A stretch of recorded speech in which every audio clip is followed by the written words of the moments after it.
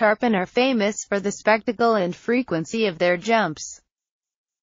Giant tarpon don't quite match the acrobatics of the smaller ones, but they leap frequently enough in shallow water, and with even more fury. Anglers seeking big fish in passes, channels, deep bays and surf areas like stout tackle with lines testing at least 30 pounds. All sizes of spinning, bait casting and fly tackle get lots of play for smaller tarpon.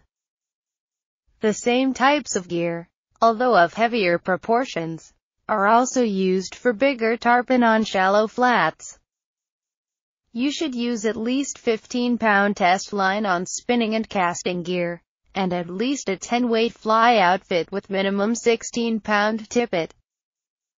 Heavy monofilament leaders or tippets are required because of the tarpon's very rough mouth.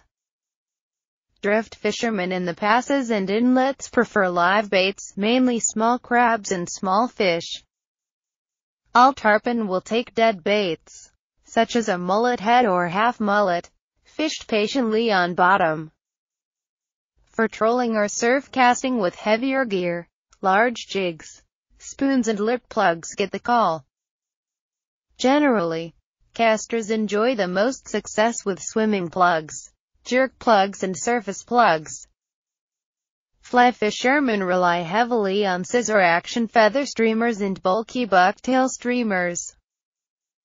For more information about tarpon fishing, go to SWFL Fishing. Net.